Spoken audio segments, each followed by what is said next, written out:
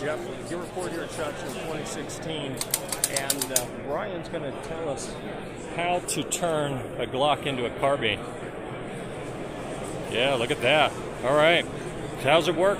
So we've got a Glock conversion kit here for Glock 17. It'll be available for the Glock 40 and 45 in about 60 days. It's a 16 inch barrel. So you're putting a brand new barrel right in there. You just take your old barrel out, new barrel in, uh, change the guide rod, and then your stock comes off and on. Look at that. Easy assemble. Now you've got a carbine you can shoot. Yeah. You can take it apart, put it in your backpack. This is endorsed by Kyle Lamb. Um, you don't need any tax stamp, anything, because we're using a 16 inch barrel, so you don't have to worry about any of that. Right. You've already bought the pistol, you put a 16 inch barrel on it. Uh, it's more fun with the 50 round drum, but I bet. uh, Yeah. 17 round mag's pretty good too. Yeah. So, And uh, you have that barrel shroud, right? That Yeah. looked really cool. So yeah, we're, we're working on this. is Something we're working on here. Little Look at that. over the barrel. yeah. Uh, you got to line the holes up.